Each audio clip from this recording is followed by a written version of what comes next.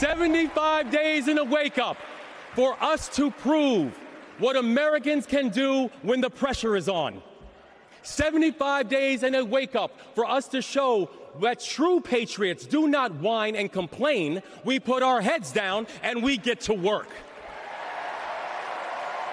75 days and a wake up to build a future that those who came after those who came before us hope for and those who come after us that they deserve and 75 days and a wake up to elect a leader who is willing to believe in the best of us. And that leader is Kamala Harris, the next president of the United States. As Maryland Governor Wes Moore speaking last night here at the United Center in support of Vice President Kamala Harris, and Governor Moore joins us now here in Chicago. Governor, great to see you. Great to see you too. Good morning. Good morning. Um, can we talk first just about the vibe in this place over, over the last week and over the last month, really, of this campaign and how things, quite frankly, have changed, which was there was a talk after the debate should Joe Biden stay? Should he get out of the race? A lot of people thought he should stay, and let's hang in with him and see if we can't get him across the finish line. Just that energy within the party has changed, and you feel it in this, as you felt up close last night. Yeah, I mean, th- th- this energy is real, and and I think what this energy is, this is an energy that's ready to win, and there is a difference.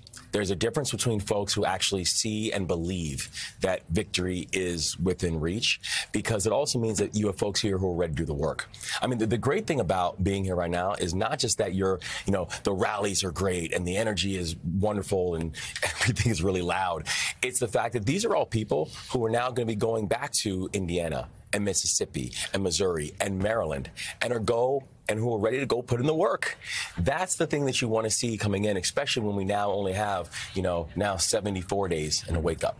You know, one of the the things that's notable, we're looking at these USA signs and the in the photos here, and we've been talking about a lot this week is talking about patriotism. Right. And you've kind of been at the forefront of that, going back to your campaign saying Republicans don't own patriotism. Just because right. you got a bigger flag and you wave it on the back of your truck or, or put a sticker on your truck. It's about embodying the values of the country. You, of course, served in Afghanistan with the 82nd Airborne.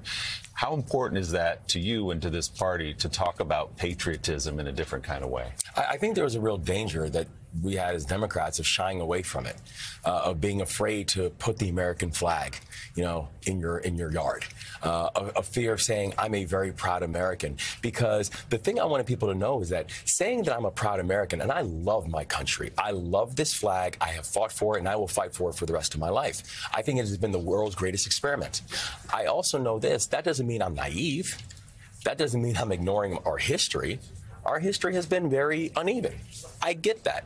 And the thing that I know I really wanted to speak to last night were the skeptics. Were the people who said, listen, how can you love America if X or how can you love America if Y? My point is this I'm not asking you to parking lot your skepticism or your or your, your, your, you know a measure of cynicism you might have. All I'm saying is let that bring that bring that skepticism with you. But let that skepticism be your companion and not your captor. Don't let it don't let it remove you from the process. Let it actually be your fuel to continue making this great American experiment better. That is patriotism. The people who are willing to sacrifice for a better America, the people who are willing to defend the people to their left and the right, regardless of what their family lineage might be. That's the beauty of what makes America so special. And I think as Democrats, it's not just a smart political thing to do.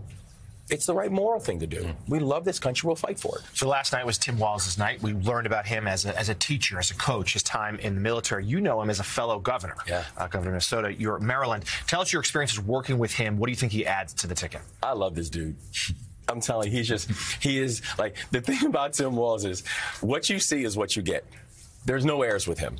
This is not performative. He, you know, he doesn't get up there and, and, and put on a show. He is Coach Walz whether he is in a back room or whether he is on a big stage. And, you know, one of the things I've always loved about him is not just his military service. I mean, this is a guy who's a, a 24 year military veteran, rose to the rank of sergeant major, which less than 1% of people do. Um, but I remember him even as President Biden was going through the process of thinking about what he wanted to do. I was having very in-depth and deep conversations with, with Tim Walz, and he was having very in-depth conversations with President Biden.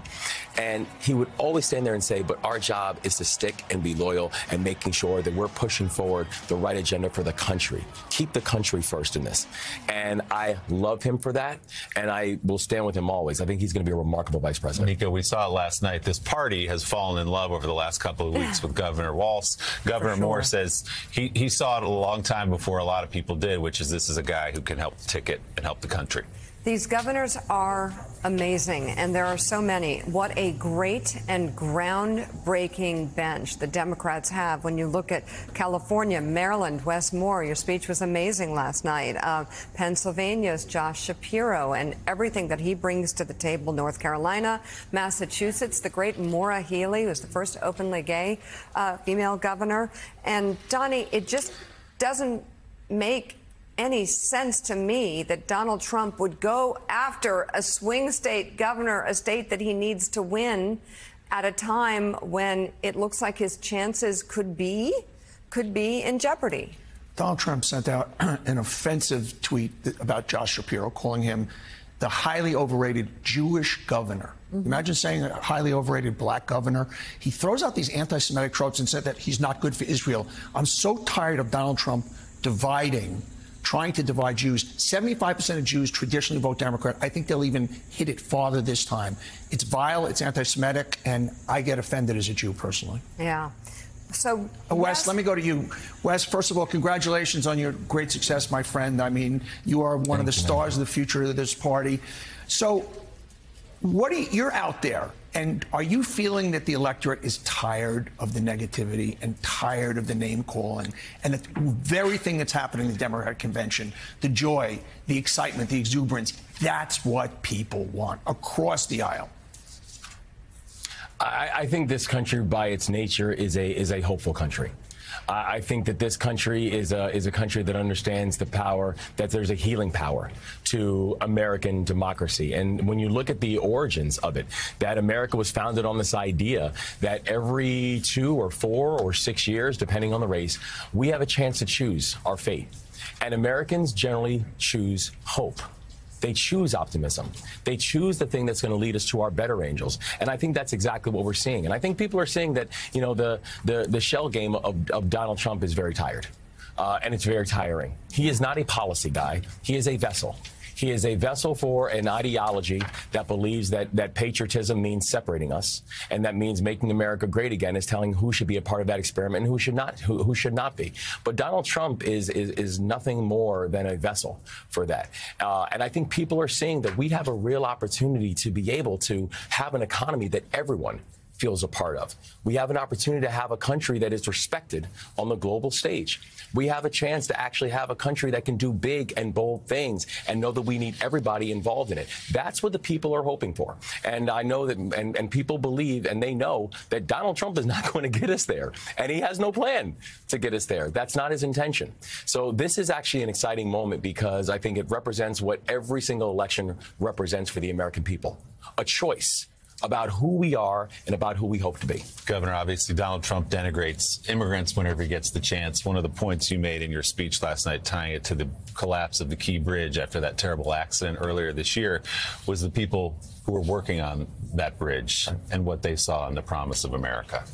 I remember um, even speaking to those families uh, and speaking to them in Spanish.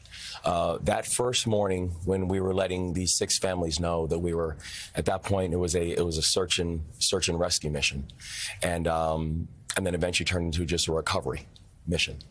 And I think about those men often who were fixing potholes at 180 feet in the air in the middle of the night, so we could have a smoother commute in the morning. People who weren't born in this country many who speak, who did, who did not even yet speak English, but who believed that the hope of America was big enough for the hopes for their families too. And um, one of the things that we actually did uh, in the in the wake of the collapse of the Key Bridge, we actually uh, established a, a, a scholarship for their children to make sure that their families and their children knew that we appreciated their loved ones their fathers, their brothers, their uncles, their cousins. We appreciated their service. We appreciated their love of country and their love of community, and we were going to make sure that they uh, that they weren't going to be forgotten nor left behind in this. Maryland Governor Wes Moore, who has served this country since he was, I think, 17 years old, right? That's right. Appreciate you being here this morning, Governor. Thanks so much. God bless. Thanks.